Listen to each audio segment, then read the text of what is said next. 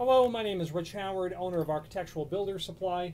This video is to bring you a closer look at the Schlage 61-509 or B571. This is an emergency key that is used in their occupancy indicator deadbolts.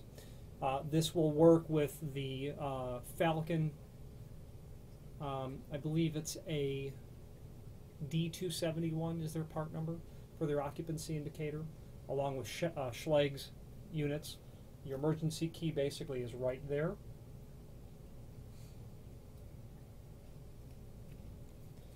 Emergency key. Insert emergency key into slot. Turn key 90 degree to retract the latch bolt.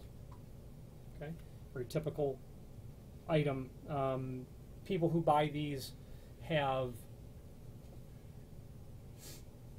uh, you know, restrooms uh, in uh, public spaces, uh, small retail sorts of shops, and having the ability to get in uh, with an emergency key is crucial. Uh, you know, in those times when there's an emergency sort of situation.